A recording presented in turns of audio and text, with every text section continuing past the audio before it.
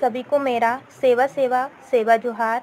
मैं साधना उइके जेएसयू भोपाल, मध्य प्रदेश से Gondwana student union, प्रदेश सांस्कृतिक प्रकोष्ठ के उपाध्यक्ष।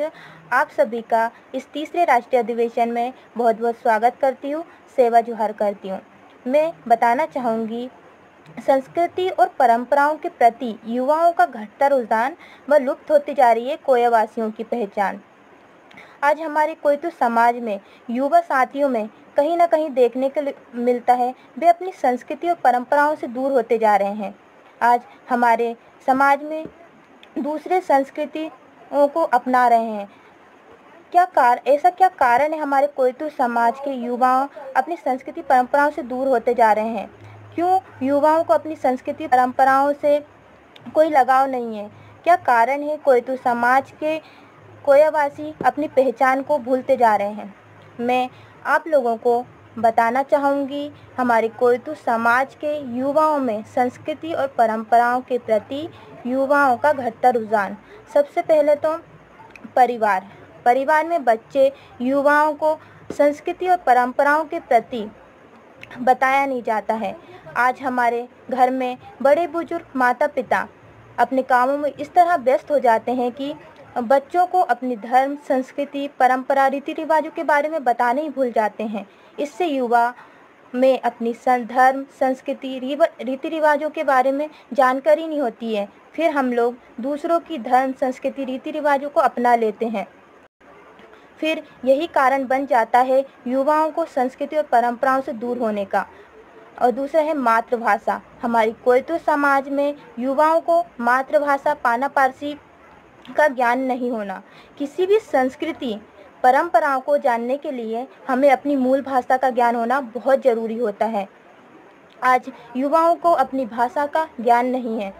इसका यही कारण है हमें बचपन से अपनी भाषा को सिखाया नहीं जाता है और हम हिंदी इंग्लिश में ही रह जाते हैं। इसका आ, मूल आ, बहुत बड़ा कारण है कि आज हम अपनी भाषा से बिछड़े हुए हैं। साहित्य, किताबें, लेख, विचारों की कमी होने के कारण युवाएँ का रुझाव घटता जा रहा है। यदि आज मैं अपना इतिहास भी जानने की कोशिश करूँ तो मुझे किताबें नहीं मिलती हैं। आज मैं इंटरनेट पर सर्च करती हूँ, उसमें भी कोई जानकारी नहीं मिलती है। युवाओं का रुझान घटता जाता है। अब बताऊँ, एजुकेशन सिस्टम। आज देश दुनिया का एजुकेशन सिस्टम देखा जाए तो वह किसी भी प्रकार की संस्कृति और रीति रिवाजों को नहीं बताता है। इसका कारण युवा संस्कृति परंपराओं को समझ ही नहीं पाता और पूरी तरीके से अपनी संस्कृति परंपराओं से दूर होता जाता है। तेरा सोशल मीडिया। इसका मुख्य कारण सोशल मीडिया भी है। आज आज की युवा 24 घंटे में से 12-13 घंटे 24 घंटे फेसबुक व्हाट्सअप इंस्टाग्राम और कई प्रकार के गेम्स खेलने में अपने समय को व्यस्त करता है। यही कारण है, अपनी संस्कृति से युवा दूर होता जाता है और लुप्त होती जा रही है कोयवासियों की पहचान। आज हमारे आज आप सभी देख ही रहे हैं कि आज हमारी पहचान लुप्त होती जा रही है। इसका मुख्य कारण है, हमारी संस्कृति, परंपराओं की जानकारी न होने से हम खुद की पहचान को आज खोते जा रहे हैं। आज हमारे पास, आज हमारे कोई तो समाज में कोया पुनेम की जानकारी नहीं है।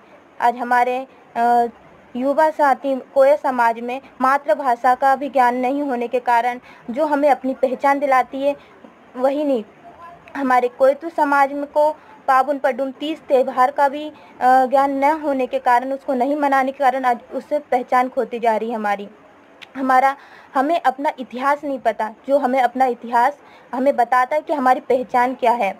अगर हमें अपनी संस्कृति और परंपराओं को बचाना है, जानना है तो हमें इन सभी कारणों से थोड़ा दूर होना पड़ेगा और अपनी संस्कृति के, को बचाना होगा। क्योंकि किसी भी समुदाय या समूह की पहचान अपने इतिहास की वजह से ही होती है, क्योंकि उसका इतिहास ही उसे जीने का तरीका सिखाता है, क्योंकि सिखाता है, ये अगौरम्बित बनाता है।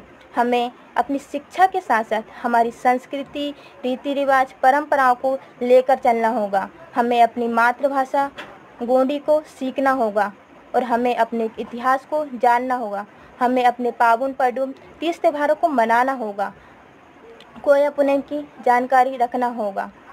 यही सभी हमें अपनी कोयतुर कोयावासी की पहचान दिलाती है। यही हमारी पहचान है, हमारा गर्व है। और अंत में अपने जीएसयू के प्रति आभार व्यक्त करना चाहूँगी, जो समाज में, युवा वर्ग में शिक्षा, धर्म, संस्कृति, सामाजिक कार्य एवं महिला सशक्तिकरण पर अधिक ज़ोर देता है।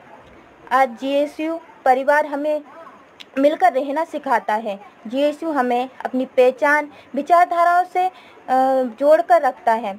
जीएसयू हमें कोया पुनेम की जानकारी देता है। जीएसयू शिक्षा के साथ साथ हमें कल्चर से जोड़े रखता है। मेरे लिए जीएसयू का हिस्सा बनना बहुत ही गर्व और सम्मान की बात है। अंत में चार लाइन बोलना चाहूँगी। चल, तू खुद को अभिव्यक्त कर। चल, तू खुद को अभिव्यक्त कर। तू बता कि मैं कौन हूँ। शान से कहे कि मैं कोई तुर गोंड हूँ। शान से कहे कि मैं कोई तुर गोंड हूँ। मत छुपा अपनी पहचान को। तू बता सिर्फ़ अपने इतिहास को। तू बता सिर्फ़ अपने इतिहास को। तू खुद को अभिव्यक्त कर। तू खुद को अभिव्यक्त कर। हर वक्त कर, हर वक्त कर। आप सभी जीएसयू परिवार को बहुत बहुत धन्यवाद देती हूँ। सेवा सेवा सेवा जोहार करती हूँ।